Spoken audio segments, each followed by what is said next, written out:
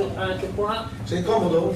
Ci sono sono Allora, buon pomeriggio a tutti. Eh, presentiamo in questo momento, stavolta, eh, un libro che è il primo giallo scritto da Roberto Roganti, che non è appunto il suo primo libro. Lui ha un passato di, di scrittura anche piuttosto intensa, poesie, racconti, ma nel giallo non aveva mai debuttato, non aveva mai esordito. Ovviamente c'è un proverbio che dice che andare con lo zoppo si impara a zoppicare, andare con il lupo si impara a ululare, andare in compagnia di un giallista come sono io si impara A giallare. Poi si prende spunto, diciamo, si prende spunto per scrivere giallo. Io devo dire che sono stato tra i primi che l'ho letto, l'ho trovato molto divertente, molto carino, molto coinvolgente, intanto perché è un romanzo breve o un racconto lungo come voi preferite. Quindi si legge in maniera molto molto rapida, molto agevole e poi è scritto in maniera molto molto scorrevole. Questo è un motivo. L'altro motivo che mi ha coinvolto in quanto sono modenese è che, come dice il titolo, Morte al villaggio giardino, cioè è un romanzo scritto da un modenese ambientato a Modena con personaggi modenesi apertamente riconoscibili col loro permesso, cioè nominati in carne e ossa con nome e cognome. Naturalmente se si parla di giallo noi sappiamo che ci sono gialli, giallisti eh, assolutamente autorevoli, importanti, famosi. Come tra il vino c'è la Barone, c'è il Barolo, c'è il Brunello di Montalcino, però io dicevo fra me e me poco fa, quando ci sono certe giornate afose, calde, caldissime di luglio, di agosto, ecco anche un buon bicchiere fresco no, di, di pignoletto dei colli bolognesi, che pure è un vino doc, un, un vino doc, fa forse molto più piacere, frizzante, fresco com'è, all'ombra, fa molto più piacere che non la Barolo e il Barolo, che sono ad altissima gradazione alcolica. Aveva Ecco. la bottiglia di pignoletto tiro via quello di acqua perché sminuisce. Allora, io ti farei subito la prima domanda partendo da una citazione illustre. C'era un grandissimo scrittore dell'Ottocento, Balzac, che rivolgendosi a un ipotetico scrittore giovane esordiente diceva se vuoi essere universale parla del tuo paese. Tu intitoli il tuo libro, il tuo primo giallo, Morte in Villaggio Giardino, che è un quartiere della tua città e anzi il quartiere in cui io so che abiti tu stesso. Esatto. La prima domanda quindi è questa, in che misura la scelta di questa ambientazione, di questa location, la senti proprio tua, essenziale, in che misura ti ha ispirato e a che lettori pensavi di rivolgerti quando l'hai concepito? Allora, eh, ho scelto il villaggio giardino perché avevo bisogno di un palazzo alto per far volare di sotto il, il protagonista. Il protagonista della morte, eh. Poi perché la zona la conosco a menadito, perché andando in giro con il mio cane, chiaramente conosco tutti i meandri, e quello è strano dirsi a chi mi rivolgo, può leggere chiunque, però io ho pensato che per quel gioco, il gioco di, di infilarci dei personaggi esistenti è stato fatto proprio per il fatto che mi sono detto, beh, sta a vedere che almeno quelli che sono stati nominati una copia me la compro. E alla fine, poi chiunque se lo può leggere perché io questo qua è un libro che lo definisco eh, spiccio al quadrato, nel senso che è spiccio perché è piccolo e spiccio perché si legge in fretta e veloce. Poi c'è una caratteristica che c'è, forse non so se ci avete fatto caso di sicuro, manca l'indice e le pagine non sono numerate. Ed è voluto perché tanto non c'è bisogno di numerare delle pagine con dei capitoli che vanno 1, 2, 3, 4 e sono corti, uno ci mette un segno libro in mezzo, tanto due giorni lo legge e poi una volta finito è finito. Sì. Senti, tu hai fatto riferimento al fatto che questo è forse il primo giallo con personaggi in carne e ossa modenesi con tanto di nome e cognome. Naturalmente personaggi anche piuttosto noti a Modena, tu li hai usati col nome e cognome con il loro permesso scritto o comunque sicuro, che girano per le strade della nostra città, riconoscibili loro, riconoscibili le strade, le piazze, eccetera. Tu hai anche ammesso che è stata nel tuo piccolo una furba operazione di marketing. Però io penso che al di là di questo ci sia qualcosa di più. Ecco, cosa conta per te, che importanza per te l'amicizia, visto che questi sono amici, nella vita e in una fiction? Che domanda, eh? Che importanza ha l'amicizia? L'amicizia è molto importante, è importante avere delle persone che accettano il fatto di essere messi brutalmente su un libro e eh, praticamente non tipo sbattiamo il mostro in prima pagina, neanche vi sbatto il mostro in prima pagina, Certo. però accettare il vostro malgrado di fare quello che vi faccio fare su questo libro perché tutto sommato vi, cerco di farvi fare quello che fate della vita non sempre si riesce a fare Sidicelli per esempio fa l'allenatore, è un professore di ginnastica, Sì. lo fa nella vita Sì. tu sei uno scrittore e per gioco strano ti faccio fare il commissario dopo che tu hai creato un commissario Sì. poi abbiamo Luca Bagnoli che fa il eh, commerciante di abbigliamento e lo fa anche nella vita vera. Stefano Soranna che sarebbe il protagonista insieme agli altri, che è un... eh, non so neanche definire che mestiere fa Soranna. Eh, mi viene da ridere perché non lo conosco dalla vita. Era partito come giornalista freelance, mi sembra poi penso che sia passato a fare tutt'altro, adesso è un, eh, è un, un pilastro della Lega di Modena, credo sì. Esattamente, e poi c'è Armando Bruzzi che è l'ultima persona che ho conosciuto di tutto questo gruppo, che a me è piaciuto molto come soggetto, lui fa il venditore di vino e mi sembrava giusto eh, in- tirarlo dentro un po' per aiutare, ecco, lui forse sì, un po' per magari aiutarlo ad avere un po' più di, di- di lavoro, Sì, sì, perché alla fine ho pensato a quello, perché a lui- anche a lui ho dato dei libri diciamo, da vendere come faccio alle edicole, come faccio a certe librerie, non a tutte. Certo. Senti, se dovessimo usare un termine della critica letteraria, dovremmo dire che questo è un romanzo, un giallo polifonico, polifonico, cioè un romanzo che viene gestito, viene raccontato a voci plurime, no? Ci sono varie voci che parlano. È un romanzo corale, infatti tu hai parlato di sei protagonisti nominati nome e cognome, l'hai appena fatto, a questi però c'è da dire che se ne aggiungono altri, soprattutto giornalisti, per esempio c'è un certo Francesco Eh, Folloni uno che strano, è abbastanza, strano, abbastanza noto, è un emergente di, buonissime capacità.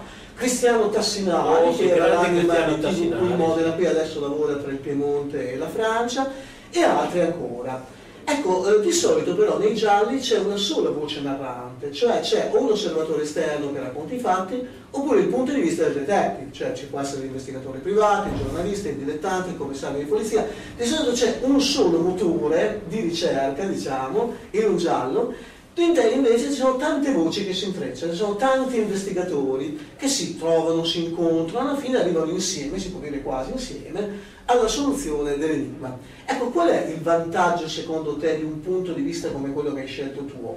Che hai scelto tu? Cioè, mh, qual è il vantaggio che questa impostazione particolare ha conferito alla tua storia? Perché è un giallo, ma tradizionale, ma condotto con un uso delle voci diverso.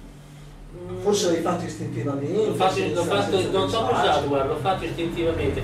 Dopo aver scritto l'altro mio libro autobiografico nel quale parlo in prima persona e mi calo direttamente in me stesso parlando di me a seconda dell'età, dalla nascita, due anni, tre anni, quattro anni, quindi ho fatto uno sforzo per riuscire a ragionare, pensare e parlare come un bambino di quell'età lì. Sì. Quando ho cominciato a scrivere questo, che in teoria è nato da un racconto che si chiamava Mors tua vita mea, che era un racconto di tre pagine normali, e quello c'era un, un- un narratore praticamente. Sì. Però cominciando a trasformarlo in un libro, in un racconto lungo, un romanzo breve praticamente, mi sono accorto che facevo fatica a mantenere il nar- narratore. Allora mi sono detto, ma lo facciamo in prima persona come se fosse un film vissuto in questo momento, nel cui ci sono tutti gli attori che parlano.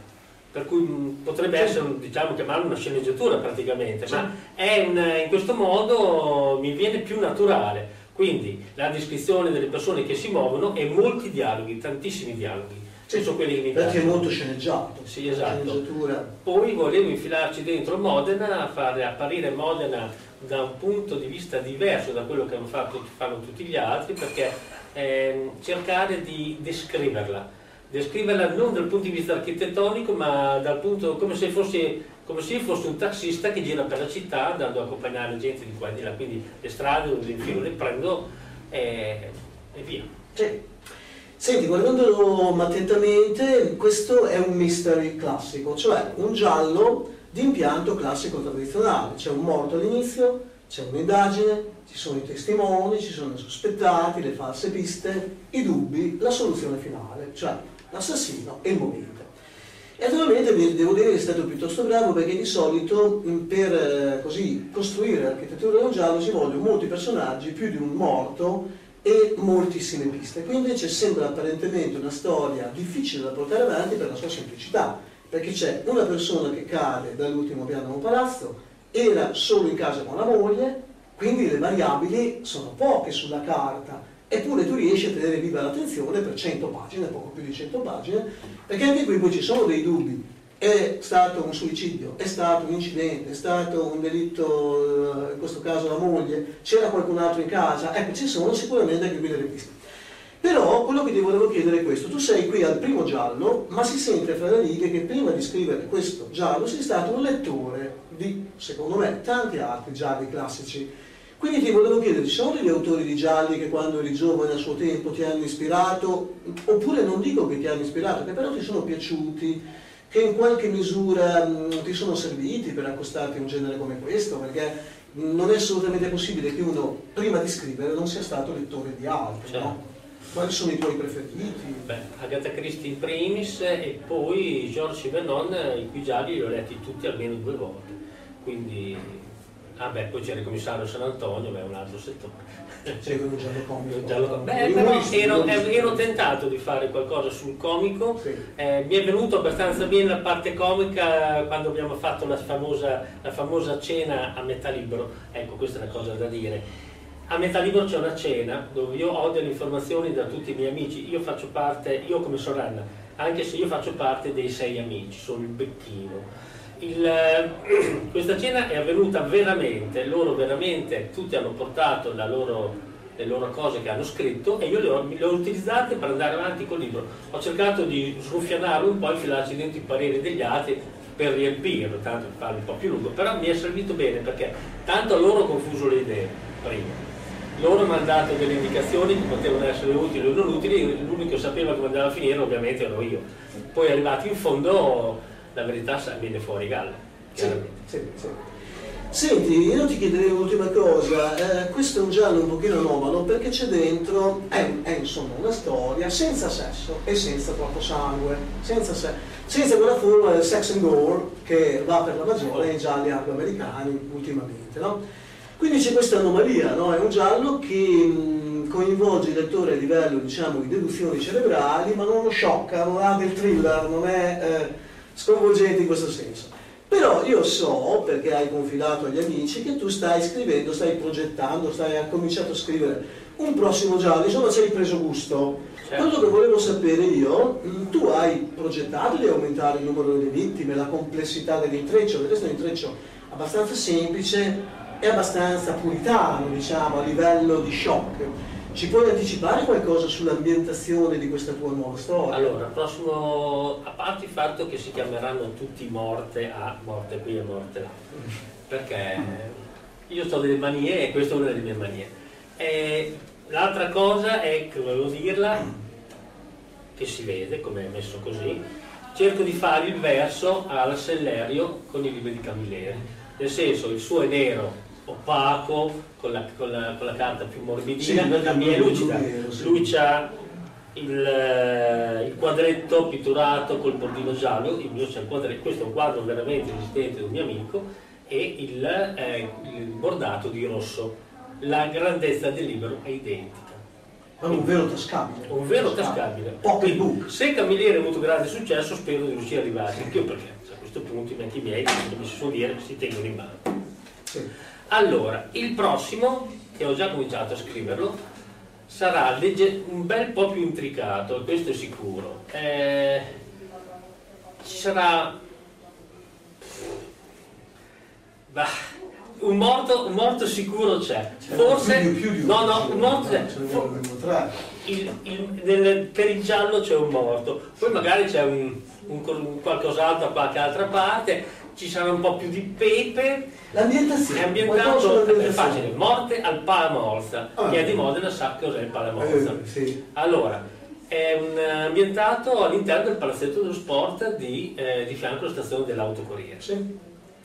Palmonza. Palamorza, esattamente. Con quei murales Sì, che viene fatta una partita un sabato pomeriggio, arbitri e allenatori, Sì. poi dopo, come si fa sempre in tutte queste partite, dopo nozze strangos, gran mangiata del, eh, del campo di fianco che è quello del- dell'hockey, e poi si chiude tutti, tutti vanno via. Il mattino dopo quello che viene a pulire trova, trova. un cadavere, che è quello dell'abito della partita, che nessuno conosce, per cui c'è da andare a capire questo qui perché è morto, è l'hanno ammazzato, con solite domande, è morto suicida, lo hanno ammazzato, è stato un incidente e bisogna andare a vedere, ma ci sono tutti degli indizi che possono portare a credere una cosa che magari è un'altra. Comunque la partita era tra amici, diciamo, abbiamo abbastanza amichevole. Non, era, era campionato, è una partita amichevole dove però anche io ho visto dell'amichevole se voglio si stanno botte da oro. Sì. Perché la pallamano è uno sport strano, ci si mena come dei matti in campo, poi tutti a bere la birra. Io farei l'ultima domanda, leggermente maliziosa se vogliamo, proprio l'ultima l'ultima, però penso che si possa fare, il primo è anche abbastanza amichevole, noi siamo tra pochi, tra pochi amici. Senti, diceva uno scrittore che si scrive di ciò che si vive. E qualche maligno ha detto che in questo tuo romanzo c'è poco sesso, perché tu Vabbè. evidentemente... Eh, beh, d'altra parte cioè, io riporto qua il mio lavoro. Vuoi, vuoi ribattere, vuoi, vuoi, vuoi come dire... Certo, ribatto, perché io... Scacciare questa, questa esatto. sottile accusa, questa calunnia, questa calunnia. Io nel mio libro riporto un po' anche la mia vita, che è il mio lavoro. Sì. Io tra, vivo, lavoro con i vecchietti, con i quali il gran sesso non se ne fa, e ogni tanto i miei vecchietti se ne andano eh, muoiono. Eh, allora, se, becchino, se, se ne andano, io faccio il di loro, loro se ne andano, come si dice erroneamente, ma se ne andano senza sangue. Una mattina non si svegliano e io ho perso piede. Muoiono di consunzione. Muoiono di consunzione, esattamente. È chiaro, sì, sì, no, infatti. Niente, io concludo dicendo no, che... se volete che letto... scrivo uno con il sangue non mica difficoltà, anzi. Eh. Sì, no, io l'ho letto eh. con molto piacere, mi ha, mi, ha, mi ha, preso, mi ha divertito, eh, ripeto, lo stile è molto sciolto, molto scorrevole, eh, va giù proprio come un bicchiere di pignoletto frizzante fresco in una giornata e quindi facciamo una cosa, il pignoletto eh, mi piace fino a un certo punto. non ti piace? non è che non mi piace, eh, ma sempre lasciato un po' di amare in bocca. Eh. beviamo, diciamo una bottiglia di lambrusco è rosso come il sangue, è molto sì, meglio sì, lambrusco, va bene, va bene. No, per dire che l'ambrusco è gradazione alcolica molto più bassa non so di, di, altri vini, però va giù bene proprio Molto perché è fresco, è sciolto, è scorrevole. E poi soprattutto se uno è di Modena ovviamente ah. ritroverà quegli ambienti, quelle vie, quelle strade, li potrà confrontare con la percezione che ne hai tu, con quella che esatto, cioè fare esatto. confronto. Ci fosse qualche domanda, di solito finisce con qualche curiosità, qualche domanda. Eh... Tu ce l'hai Michele, lo so. No, no, beh, come ti dicevo prima, l'ho letto, l'ho letto molto, molto piacevolmente, molto... mi ha preso solo perché non può interrompere la lettura perché una pagina è conseguente all'altra, cioè sì. voglio dire, è tutta, come diceva appunto eh, eh, insomma voglio dire, è, è sempre una sceneggiatura e quindi non può, con tanti dialoghi, quindi sì. non lo può interrompere e quindi si legge tutto d'un fiato e, e, quindi ti prende per forza di cose. Poi eh, il finale può piacere o non piacere, tu pensavi una cosa invece è stata un'altra, eccetera. Eh, però devo dire che come primo giallo è stato molto molto molto bello da leggere, quindi Grazie. fate i complimenti. Quindi prima prova pienamente riuscita. Pienamente superata, sicuramente. Sì, sì, no. Mi auguro che tu abbia un buon successo anche di vendita. Speriamo, per, per poter scrivere il secondo. Certamente. Perché, anche, anche, perché se non vendo abbastanza non ho le penne per poter scrivere il secondo. Esattamente. Perché io lo scrivo a mano, eh non vado sul computer, io come, come le poesie scrivo tutto a mano, poi lo correggo 50.000 volte sui fogli di caterme di fogli, matite che se ne vanno, poi quando penso che sia pronto lo riporto sul computer e continuo a correggerlo. Poi lo rileggo 50 volte, lo correggo fino a un certo punto in cui basta, lo mando a Sighicelli e lo corregge fine. Ma ci sono pochissimi sbagli, mi, sono, mi è arrivata la bozza finale, devo dire che l'ho corretta in pochissimo perché era quasi tutta sì, precisa, esatta e aveva così via. Sì. Quello che mi voglio complimentare con l'autore di questo libro è che finalmente c'è un giallo dove, pagina dopo pagina, come ha detto anche il signore qui presente, ci sono elencati fatti su fatti, nessuna deduzione, non si perde tempo in considerazioni psicologiche, non c'è nessuna analisi dei personaggi per descriverli o dire cosa fare dove vanno, ma finalmente dei fatti uno dopo l'altro e te li leggi come se fosse un giornalino per vedere cosa succede quando arrivi in fondo nel giro di un'oretta, un'oretta e mezza, due ore, tre ore di lettura, hai finito il giallo, invece di andare al cinema ti sei letto un libro che valeva il prezzo del biglietto del cinema. Ecco. Sì, sì, sì, quindi ci sono azioni, azioni, azioni. Azioni su azioni azioni, azioni, azioni. E per quello che riguarda la forma linguistica, devo dire che concordo con quello che ha detto lui, io che sono di solito un lettore molto molto attento, abituato, avendo fatto l'insegnante, in questo romanzo qui così come è adesso ho trovato un solo errore, un solo errore che è veramente poco. Naturalmente non lo dirò neanche sotto tutto, lo dirò lui, nel caso, augurandovi che faccia 100 ristampe così può correggere l'errore, ma il 100 ristampe vuol dire che vedi molto, quindi chiaramente è un augurio ovviamente. E così, niente. Peraltro c'è una caratteristica di questa cosa, questo libro qua, che doveva nascere in una maniera diversa. Mia- l'ho, spiegato all'introduzione. Doveva essere, siccome Solana fa il giornalista in questo libro, della testata modenese, l'unica inventata, Gatta Cicoma Modena, perché non potevo chiamarla come un giornale. devi chiamarlo Modena Today, Potevo un giornale Modena Today, ma un dovevo chiedere due serio, miliardi- due miliardi di permessi di un qualità, eh, cioè, un Allora, avevo ridicolo. parlato con l'editore di fare una- la- il punto dove ci sono i, mh, gli articoli di giornale, la pagina che si apriva con carta da giornale in modo da trovare l'articolo. Lui mi ha detto che a meno che io non fossi Rockefeller, era meglio non farla. Allora non sapevo più come, come giocarmi, ho provato addirittura le quattro colonne, proprio che la pagina è piccola. Allora alla fine, visto che le quattro colonne non ci stavano bene, ho valutato di farla in due colonne con il marchio di gatta cicloma che me lo sono inventato, che quello lì il disegno è, è la mia gatta che ho Sì. elaborato con Photoshop e poi c'è una ghirlandina che è un marchio che ha usato mio nonno in un libro vecchissimo che scrive, scrisse sul teatro minore modenese. E per me ci viene bene perché tu prosegui nella lettura, trovi queste pagine e dopo vai dritto. Sì, perfetto. Ho trovato molto simpatica la postfazione di tuo padre. Ah sì, certo, è logico. Molto simpatica, mi è piaciuta. Sì, guardate che molto schietta e sincera diceva, conoscendo mio figlio non mi sarei mai immaginato, eh, esatto, esatto. Niente, comunque se, se voi siete appassionati di sport e avete pazienza, quest'altro anno esce Delitto al Palamorza, quindi Morte al. Morte al Palamorza. Tu hai delitti, Morte io al ho la Palamorza. morte. Non si sa se sarà un D'altronde, d'altronde faccio il becchino in sto libro per cui morte. Morte al Palamorza. Se invece voi siete appassionati di sport, di Modena, ma avete fretta, non avete... Un mese fa è uscito il mio ultimo giallo che appunto si chiama Nessun posto per nascondersi, ambientato, vedete. ambientato nel Modena Calcio, ambientato nel Modena Calcio che è morto davvero il Modena Calcio, ma io non lo faccio morire, me lo immagino, me lo immagino che sia, me lo immagino che sia ancora vivo in Serie B, quindi questa qua sembra più fantascienza che devo- Serie B. Comunque siamo due modenesi, siamo appassionati di sport, lui appunto lo sta scrivendo, Morte al Palamozza. Morte al Palamozza. Mm, esatto. Poi peraltro, Drog, dato che i personaggi sono reali, in caso mai dovessi fare l'audiolibro, avresti le voci reali. Non sarebbe Eh, male, ci avevo pensato, volevo, volevo il proporre, volevo proporre un il filmato a Giannone. Eh, Poi Possiamo Ora possiamo fare anche perché i personaggi ci sono, le voci sarebbero quelle dei personaggi Originali, quelle originali. sarebbero originali, Quelle originali. Metti anche lettore. tira su anche l'altro lo metti a fianco. Così. Esattamente, è interessante, avevo pensato a Orazio, bisogna che facciamo, ci pensiamo. Pensaci. Sai cosa c'è però nel- intitolare i romanzi Morte A, Morte A? Che delle volte hanno un doppio senso. Lo so, per esempio, io ho insegnato tanti anni al Tassoni, avessi intitolato una Morte al Tassoni, l'idea che il Tassoni tutti si augurano venga bruciato. Beh, più o meno. Come quando diciamo via, via Mazzini, via Cavour, via Galileo Galilei, sempre li rimandi via questi qua, no? Quando, so, per esempio, quando c'è, so, eh, lo stadio tirano fuori via Icardi, eh, cosa vuol dire? Vuol dire che lo vuoi mandare via? Cioè, è- è- ha un doppio senso, sono un po', però ripeto, comunque morte è diventato un marchio di fabbrica. Sì, quello è il di fabbrica. Poi, se volete, avete idea di dove posso impostare il, ter- il terzo giallo, ditemelo a parte che c'è molta gente da poter nominare, che più gente posso nominare e più persone me lo comprano, ovviamente. Eh, io ho un suggerimento, è uscito tanti anni fa un romanzo anche bello, tra i cadetti dell'Accademia, una serie di delitti dell'Accademia Militare. Veramente militare dura, eh. sono 827, se tutti lo comprano hai 827 Metti, proprio. fai l'elenco degli il iscritti. Braglia, eh. Cioè. Morta al Braglia, i nomi di tutti quelli che sono andati a vedere la partita.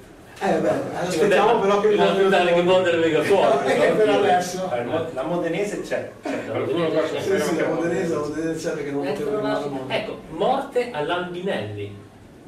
Ah, al mercato, al Fai mercato. trovare uno morto dentro la fontana del Graziosi. devi Bellissimo. Eh? Già fatto, già I trovato. nomi di tutti gli esercenti Tutti che gli esercenti sono dentro. eh, esatto. Che visto che adesso radiamo verrà la sera di Albinelli fa la trasmissione dentro l'Albinelli, ci- dopo una serata con la sua trasmissione troviamo uno che lavorava in radio da poco, morto dentro la fontana delle creazioni. Grandioso, ce l'ho già, Potrebbe essere un'idea.